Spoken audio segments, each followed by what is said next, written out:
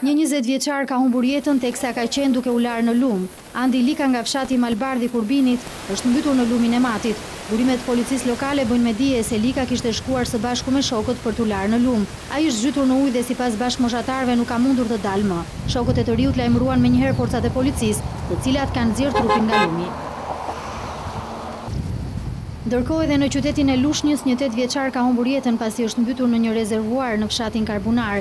Ngjarja ka ndodhur në orët e pasdites dhe nga hetimet e para dyshohet se fëmija ka rënë aksidentalisht në ujë. I mituri nuk ka mundur të dalë dot nga rezervuari. Temperaturat e larta të korrikut kanë bërë që shumë të rinj t'u drejtohen lumenjve dhe rezervuarëve për t'u freskuar.